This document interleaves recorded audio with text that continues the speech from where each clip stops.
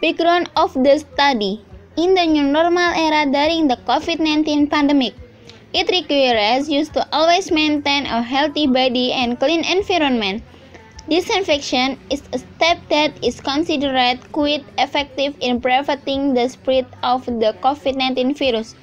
Disinfectant fluids are generally spread on the surface of objects around you, but this fluid can cause irritation and other health problem if the come in direct contact with the skin.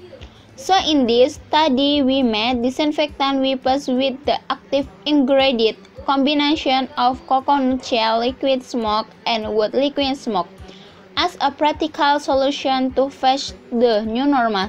Liquid smoke is a natural ingredient that is safe when in contact directly with the skin surface so that disinfection wipes are safe to use.